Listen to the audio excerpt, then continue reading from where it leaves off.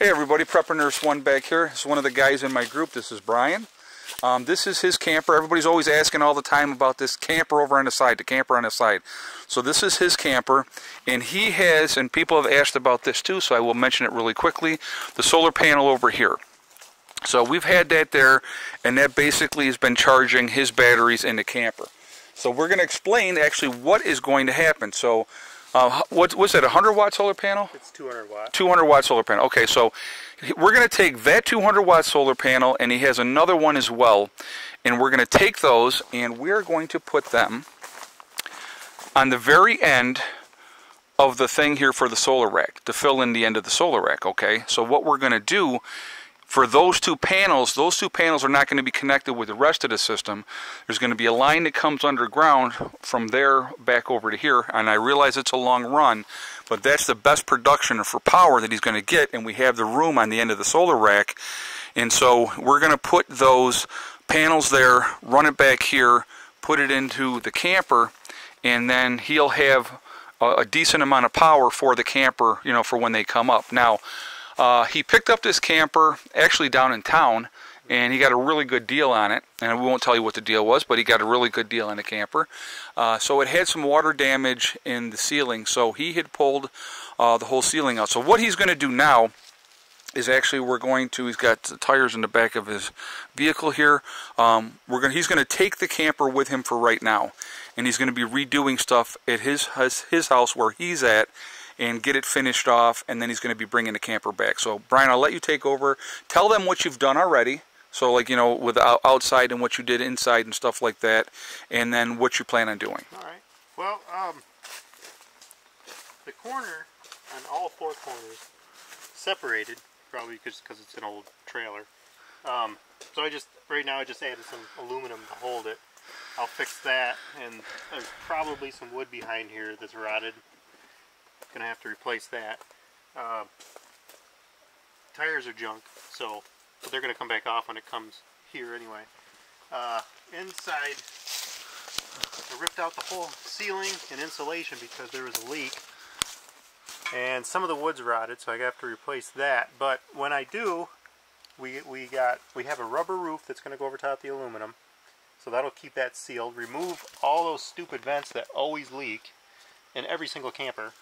Um, just going to put sheet metal over it, cover over it with the rubber roof, and then instead of regular pink insulation, we're going to use Roxul insulation like Ed used for the chicken coop and I think for your house. Yeah, for the house too, yep. Um, that. Uh, I think that's, is that four inches thick?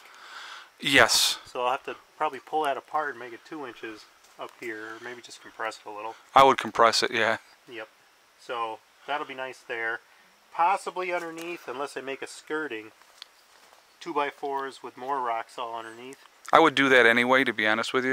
Yeah. Because if, if I would, even if you do put skirting on it, just because when you get up in the morning, then that way the floor is not going to be ice cold if you have that extra insulation. Because even though, like right now, our floors, I haven't finished the floors in there and it's just the plywood, Oh, yeah. they're warm as can be in the wintertime. Hmm. Cool. Well, the inside, which trashed at the moment because I ripped the ceiling apart. Yeah, Um, so I don't know how well. Yeah, you can see. Yeah. Um, I'm going to replace whatever's rotted and squishy like this. Replace that and then paint everything white like I did my other camper so that's a little bit brighter in here. Right. And then right now I have a couple batteries under that seat that I'm going to replace with some bigger batteries, maybe some 6 volt batteries, maybe some lithium um, iron phosphate batteries just to keep it charged. I'm, I'm debating on not doing that because I don't really want to put a heater on them for the winter to Right. charge. So I might just use lead acid. Right. And then in these little windows, I planned on putting a fan with metal dampers. Gotcha. So when the fan turns on, you know, when it's too hot in here or there's too much humidity, it'll just automatically turn on, take from the batteries, and blow the heat out and the humidity out to keep it from getting humid in here. Right. And with the solar panels charging the batteries all the time, it, it won't really matter. It Okay. won't take any power at all. So you got you got there's one bed up here, guys. Okay, so this is a bed up here. You got the couch here that opens up and can also turn into a bed. Yep. Okay. Um, you got your small kitchen sink area. That's a bed. Right, you got your your uh, cook stove here, and it's got a little oven. Uh, you got a bed here. There is this side, and there's the other side too, Yeah, right? there's a bunk bed in the back with two, and then there's this one bed here. So, Okay, so on the back side, if uh, I'll, Yeah, you can I'll kick around through here. Of course, some of the stuff. Of course. Okay, so hopefully you guys can see this okay, but there's a bed there, and then there's the bed up here, and then a bed on this side here. Yeah, there's enough light you guys can see, but uh, so there's plenty of places in here to sleep. Um, it's a good little bug out oh, thing. So you got one, two, three, you got four here, five, and then six. So six places to sleep. This could fit two people. Uh, you could put two people up there. That does that pull out or yeah? Okay, so that pulls out. So you could probably put two people there. So you can get quite a few people in the camper if you had to. Um, again, you don't want to over have too many people in the area. But yeah, so he had pulled this whole ceiling out, and so that's why everything is a mess right now. Uh, but uh, so yeah, he's gonna. We'll here. We'll step back out. Bathroom is. Oh yeah, yeah. Hold on. Well, See if you can. I don't know how well you can see this, guys, but uh, no, they can't really see it.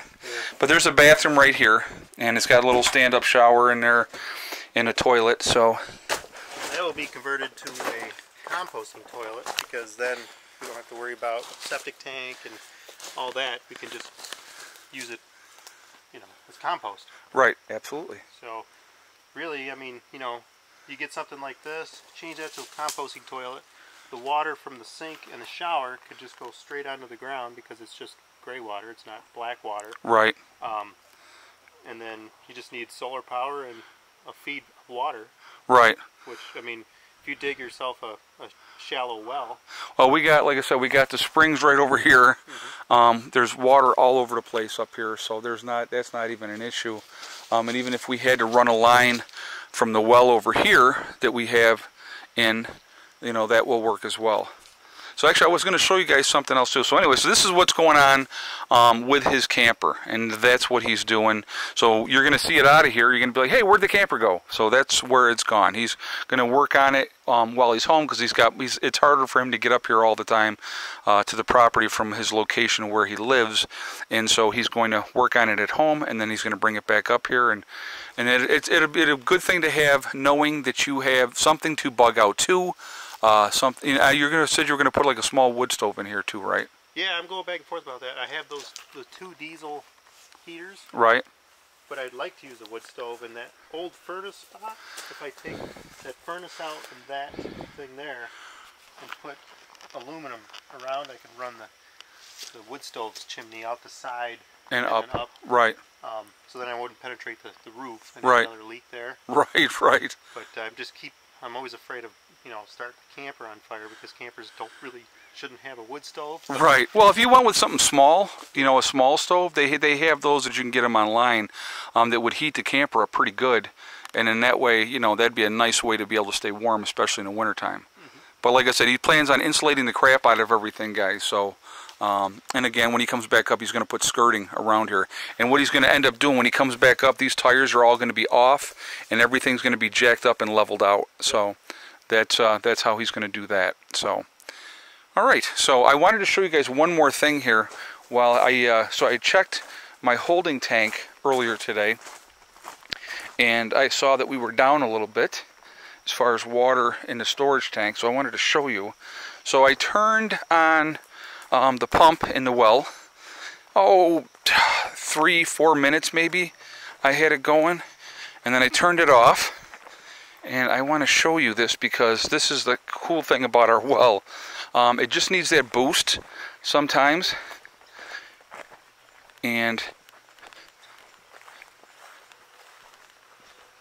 I don't know if you can hear that, but I'm going to show you. I'm going to pull this off. Okay, so um, that is doing it all on its own. There's no nothing is pumping that out. Nothing is making that go, other than it's going on its own. So that's what it does, and then it'll fill that tank up uh, over the top of the pipe, and then the storage tank will be completely full once again. So that's kind of cool that it does that. Now when I turn the pump on, when I turn the pump on, um, it's flowing out of there. I mean, it's really coming out of there. So, but once I turn that pump off, and it'll, it'll just, it, for whatever reason, it just kicks in, and it does it on its own. And like I said, that's doing it completely. It's all gravity fed at that point. So, it just slowly trickles in there and fills back up, and it works out fantastic. So, anyway, so a lot of people did have questions about the camper um, and stuff like that and why we had the other camper over here. But yeah, that's that's Brian's camper. And so he's going to take it right now um, and get it squared away. And then we're going to, you know, go ahead and do that. So that's what's going on. Um, just wanted to do, uh, it's, it's still, actually I should tell you the date here. This will be, actually this will end up being like the third video.